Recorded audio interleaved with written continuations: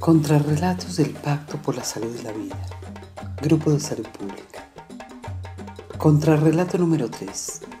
Atrevámonos a soñar, atrevámonos a cambiar el sistema de salud indolente que tenemos. Digamos no a un sistema de salud que diferencia entre pobres y ricos y nos impone barreras para acceder a la atención. La enfermedad con plata es una cosa y la enfermedad sin plata es otra voz de trabajador del sector salud. Pues que todos tenemos derecho a tener un buen servicio de salud, el cual no nos están brindando en estos momentos. Voz de paciente. De acuerdo con la información publicada por el Instituto Nacional de Salud, al día 7 de octubre, de las 27.175 personas fallecidas por COVID-19, 2.976 no tuvieron ni un día de hospitalización. ¿Qué quiere decir esto? Que de cada 100 personas que en nuestro país murieron por COVID, 11 de ellas llegaron tan mal a los hospitales que murieron ese mismo día o murieron en sus casas sin recibir atención.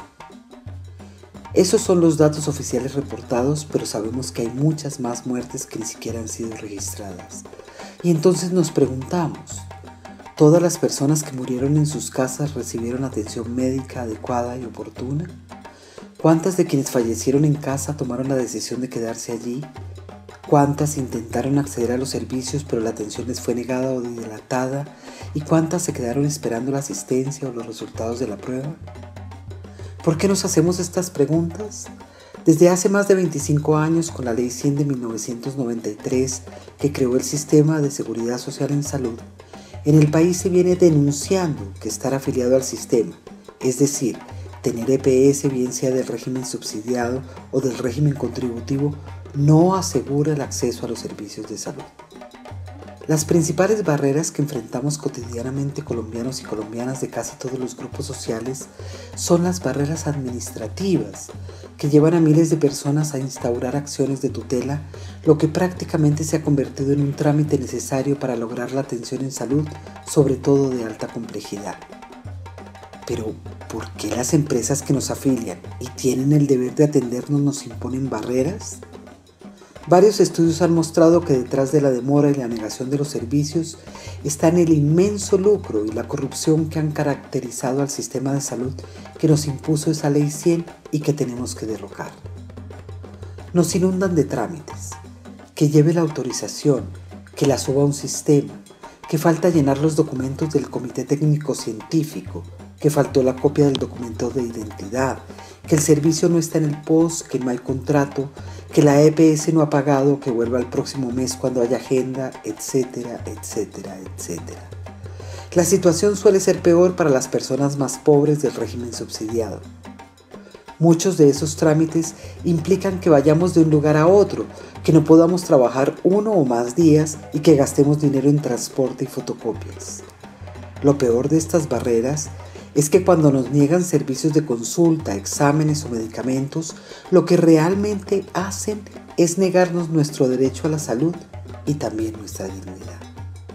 Nos sentimos maltratados y humillados y eso genera enorme sufrimiento psíquico y social.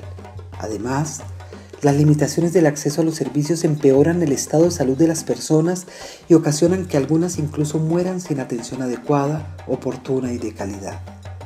Si esto es así, entonces, ¿de cuántas muertes evitables son responsables las EPS? ¿Será que esta situación ha empeorado durante este periodo de COVID-19 y epidemias múltiples?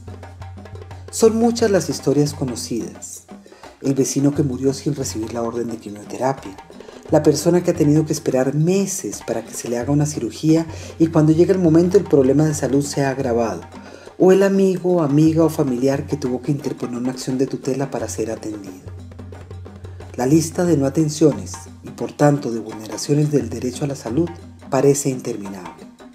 Y ahora, con la pandemia, las cosas están peor, porque se reparten menos turnos para la atención, se cierran servicios por riesgo de contagio, se retrasa la entrega de medicamentos de los enfermos crónicos, no funcionan los programas regulares de promoción y prevención y se recomienda el autocuidado y quedarse en casa.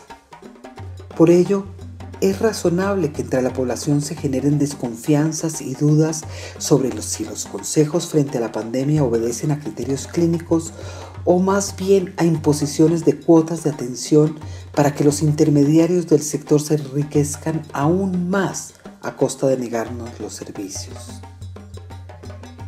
En este sistema que convirtió la salud en una mercancía, debilitó los hospitales públicos y les quitó a los médicos el liderazgo sobre las decisiones, la salud no es un derecho y negar servicios es rentable.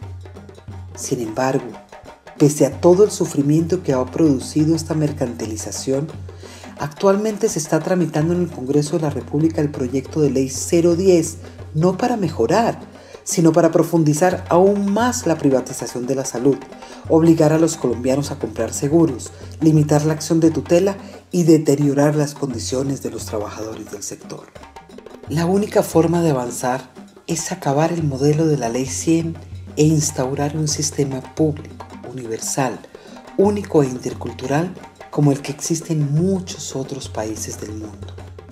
En este sistema no se necesitarían las EPS ni comprar seguros, solo se necesitaría ser ciudadano o ciudadana.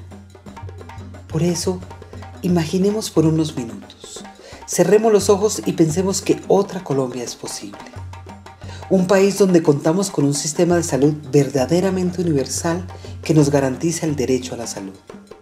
Un sistema con presencia real en las comunidades rurales y en los barrios periféricos de las grandes ciudades, donde somos excelentemente atendidos independientemente de cuánto dinero tenemos, de nuestra orientación sexual, color de piel, de dónde venimos o cómo hablamos.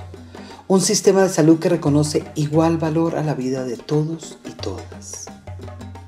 Atrevámonos a soñar. Atrevámonos a cambiar este país y este sistema de salud para que cada vida importe. Seguramente en ese otro país reiremos y celebraremos la salud y la vida, las nuestras y las de quienes han partido.